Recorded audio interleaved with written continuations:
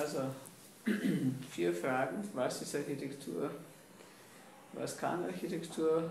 Und so weiter. Also was ist Architektur? Jetzt wahrscheinlich gedacht, was das für mich bedeutet, was Architektur ist. Und ich glaube, dass Architektur etwas ist, äh, vielen Menschen und vielleicht auch Mitmenschen, das hängt davon ab, wie jeder selbst sich positioniert, Lebensräume zu äh, gestalten und zu schaffen. Und das ist eine ganz wichtige Aufgabe. Die Lebensräume sollen äh, nicht irgendwie sein, sondern sollen Qualitäten haben, die eben so, so sind, dass die Leute im Grunde genommen sich in diesen Räumen sehr gut entfalten können. Äh, dass sie sogar ihnen gewisse Freude vermitteln und so weiter, einfach in den Räumen zu sein und äh, da drinnen sich aufhalten zu können oder sie weiter auf ihre Art und Weise zu gestalten. Ich kann das sehr gut beurteilen. Ich sage immer zu den Studenten zum Beispiel, wenn man sich mit etwas beschäftigt wie ein Kindergarten, was wir ja nicht oft gemacht haben, aber ich denke, ein Kindergarten muss irgendwie sehr vieles anbieten, damit das jugendliche Kind, äh, des Kindes äh, Wahrnehmung des Raumes und so weiter über das hinweggeht, was normalerweise die Wohnung einer Familie darstellt. Und das, ich denke sogar, dass die Leute dadurch äh, intelligenter werden, fröhlicher werden und so weiter. Und ich kenne das auch von Architektur mit, äh, mit etwas äh, ungewöhnlichen Formen, aber das muss natürlich auch eine Klarheit sein, diese Form, äh, dass das äh, sehr wohl die Menschen beflügelt und sie äh, wirklich auch geistig irgendwie gewisse anregt, dass sie zum Beispiel die Forscher in einen Raum, der nicht so ganz konventionell ist, eigentlich besser denken können und weiterkommen. Und das glaube ich, das soll jedem Menschen zukommen. Das sehe ich als Architektur. Und die, was kann Architektur, habe ich jetzt eigentlich schon auch gesagt, im Grunde genommen. Es sollte das können, also nicht nur den normalen Lebensraum zu schaffen, in dem man äh, behütet sein kann und eine Privatsphäre hat, sondern darüber hinweg. Und das ist, glaube ich, für mich erst die Architektur, wenn es eben diese, den, den Menschen so unterstützt, dass man gewissermaßen innerlich beflügelt ist. Ja. Von der Schönheit äh, des Zusammenspiels äh, oder Schönheit, was nicht mehr das sagt, aber von der anderen Zusammenspiel von der materiell geschaffenen Form durch den Architekten und den äußeren Umgebung wie Licht und so weiter. Ja, das vielleicht Aussicht und, und alles Mögliche, was da dazu kommt. Jetzt gibt die Frage 3 vielleicht. Wie positionieren Sie sich im Diskurs der Architektur?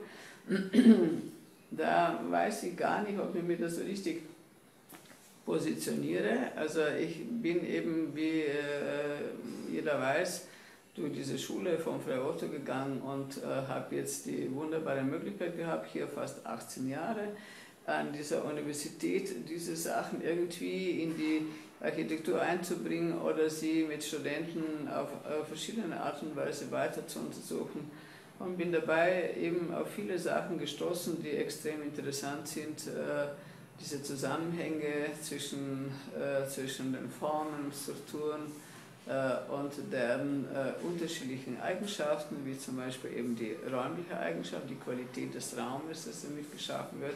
Das finde ich ist die primäre Eigenschaft. Die andere ist aber, dass wir immer unsere Ideen auch realisieren müssen und dass diese Ideen, die man realisieren muss, eigentlich in Materie umgesetzt werden müssen und dass das ja auch irgendwie klappen soll und dadurch nicht diese Zauber, den die Idee vermittelt, vielleicht dann verloren geht, weil alles äh, mh, zu viel Material erfordert und zu schwer und was weiß ich so wird, was, was man immer wieder bei Projekten erkennen kann. Also jetzt diese Untersuchungen, die wir da machen, wo ich mich, glaube ich, wirklich absolut positionieren kann, ist diese äh, gleich, ähm, äh, gleichzeitige Betrachtung von räumlichen Qualitäten und gleichzeitig hat jede Form und jede Struktur, das ist wirklich ganz eindeutig und klar, äh, ihre eigene innewohnende konstruktive Eigenschaften. Wenn man jetzt die auch optimiert, äh, also wenn man da auch da ein Optimum sucht, dann ist es sehr schwierig. Das ist nicht ein Ingenieursding, sondern es ist ein gestalterisches Ding, wie in Prozessen sich Formen entwickeln, zu beobachten. Heute mit digitalen Methoden kann man natürlich das auch sehr gut äh, mehr Licht in das ganze Geschehen hereinbringen und besser wissen, was da passiert.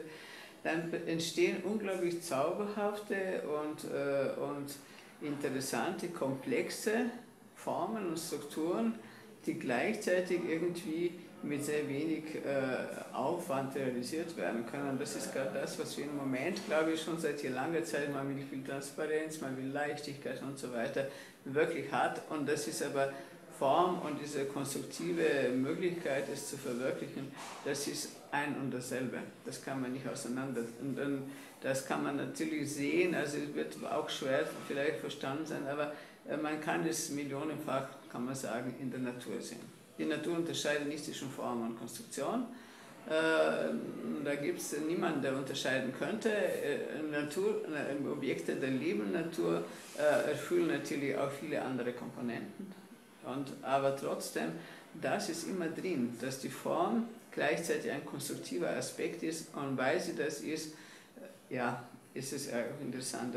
Eine andere Beobachtung ist, die mit dem zusammenhängt, ist, dass in Natur natürlich nicht, es ist nicht so vorgegangen worden, wie jetzt vielleicht klingt, aber Beobachtungen, die ich gemacht habe in diesen Untersuchungen mit Studenten, war das, äh, dass ich immer versucht habe, irgendwie interessante Strukturen zu machen, aber gleichzeitig auch, dass sie eben bestimmte konstruktive Eigenschaften haben, die man so sucht. Und dann nicht mit zusätzlichen Sachen äh, konstruktiv belastet werden können. Dabei hat sich herausgestellt, wir machen ja gerade jetzt ein Buch am Institut, äh, wo jeder der Mitarbeiter ihre, seine eigene Forschung beschreibt. Das soll jetzt im Herbst fertig sein, das Buch.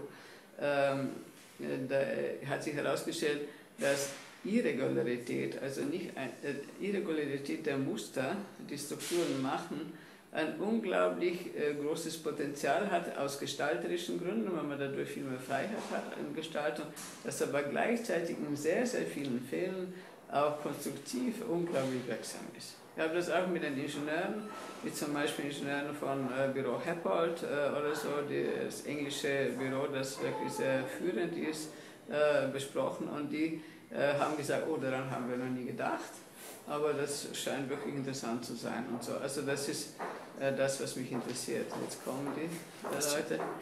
Ja, jetzt ist noch das, welche, welche ist Ihre Entwurfsmethode? Bin gleich fertig, ja?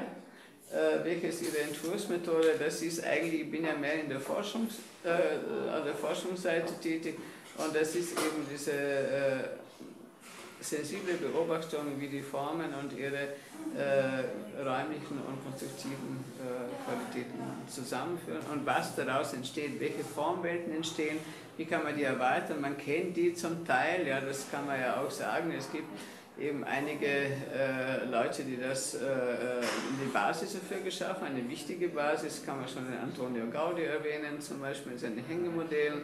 Äh, man muss auf jeden Fall den, den Frei Otto erwähnen äh, und äh, die Arbeiten von diesen Leuten, wie äh, Isla vielleicht auch, aber da sieht man, dass, dass es tatsächlich zu etwas führt. Aber es ist in meiner Erkenntnis jetzt über die Jahre herausgekommen, dass das viel, viel weiter das Feld ist. Und da wir jetzt auch digital und physikalisch untersuchen können, das Ganze, kann man sich das mit der Zeit erschließen. Und ich denke, wenn da immer mehr Leute, es gibt ja schon immer wieder äh, immer mehr Leute, die daran arbeiten, wenn immer mehr Leute daran arbeiten, dass da eine ziemlich große Entwicklung noch in der Architektur gibt und äh, die eigentlich, glaube ich, viele schöne Sachen hervorbringen und den Architekten viel Freiheit geben würde, aber gleichzeitig auch die Leichtigkeit und Beschwingenheit der Formen. Ja, und das wäre schon alles, was ich, glaube ich, sagen Super. Passt?